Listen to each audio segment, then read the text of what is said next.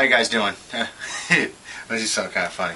Some mature, male ornata, and he, he comes up when he wants to eat. He won't eat in there if I throw it on the ground. No, he won't do that. He, I, uh, he comes up on this glass when he's hungry, and I have to stick a roach through here. this guy's so picky. Watch this, guys. He's all he's big. Look at my hand. He's eight eight inches plus. There you go, buddy. He's so cool, isn't he? Tell me that's not the coolest spider no more. he just he won't eat anywhere else. I swear to God. Uh, you throw it in front of him, he looks at you like you're nuts. He gets he only comes on this glass when he wants to eat. That's what he does. he's pretty he's pretty cool. He's actually for sale. I don't want to get rid of him, but I, I want him to do his thing. My female's on the other side. She made her she has an egg sac, but I want him to live his life. So if anybody's interested, I'll give him to you for 39, 40 bucks. That's only a dollar difference.